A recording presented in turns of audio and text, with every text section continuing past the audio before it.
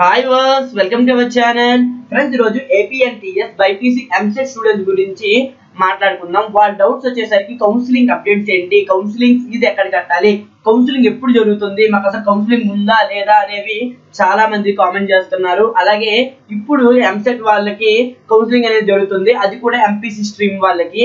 అది చూసి మాకు కూడా కౌన్సిలింగ్ జరుగుతుందేమో అని కూడా కొంతమంది కన్ఫ్యూజ్ అవుతూ ప్రాసెసింగ్ ఫీజు కట్టడానికి ట్రై చేస్తున్నారు. కట్టినా అసలు ఫీజు అనేది పే అవ్వదు. ఫ్రెండ్స్ అయితే ఈ వీడియోలో మీకు ఇన్ఫర్మేషన్ అనేది క్లియర్గా ఉంటుంది.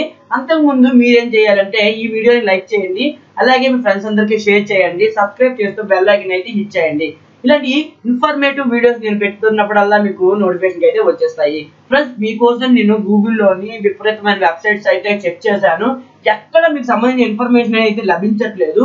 బట్ మీకోసం ఏదో ఒకటి అప్డేట్ ఇవ్వాల్సిందే అని చెప్పేసి నేను ఫుల్గా వెబ్సైట్స్ అన్ని ఎదుగుతుంటే నాకు డిస్ప్లే అయిందనమాట అది ఏంటంటే ఇక్కడ మీరు క్లియర్గా అక్కడ వీళ్ళు మెన్షన్ చేసింది ఏంటంటే ఏపీఎస్హెచ్ఈ ఒక స్కీమ్ అనమాట అంటే ఆ ఆంధ్రప్రదేశ్ ఎంసెట్ కౌన్సిలింగ్ సంబంధించింది. వీళ్ళు organise separate counselling for MPC and BiPC streams candidates will be called for the document verification as per the rank in AP EAMCET two thousand nineteen friends ఇది ఒక కీ పాయింట్ అనమాట ఈ key point అనేది మీకోసం MPC వాళ్ళకి అలాగే BiPC వాళ్ళకి ఈ స్ట్రీమ్స్కి సపరేట్గా కౌన్సిలింగ్ జరుగుతుంది.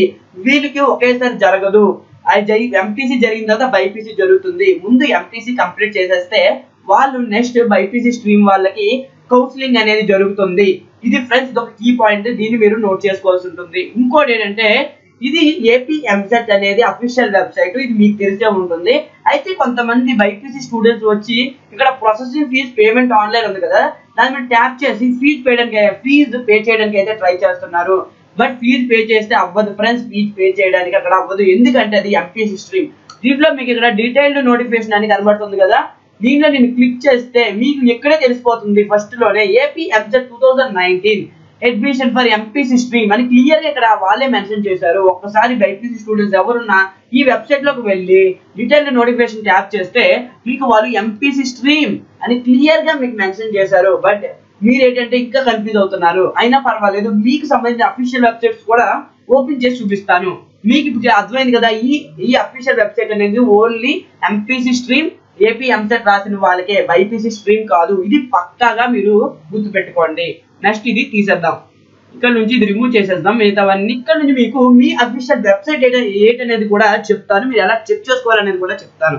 ఫస్ట్ ఆఫ్ ఆల్ మీ గూగుల్ సెర్చ్లోని ఏపీ ఈ ఏఎంసిఈటి ఎంసెట్ ఇలా రాయండి. నెక్స్ట్ బి రాయండి. బి మీన్స్ బైపీసీ తర్వాత dot NIC nic dot in ఇలా ఇలా సెర్చ్ చేసేసి ఇక్కడ మీరు క్లిక్ చేసేసారు అనుకోండి ఇక్కడ మీకు కనబడుతుంది కదా.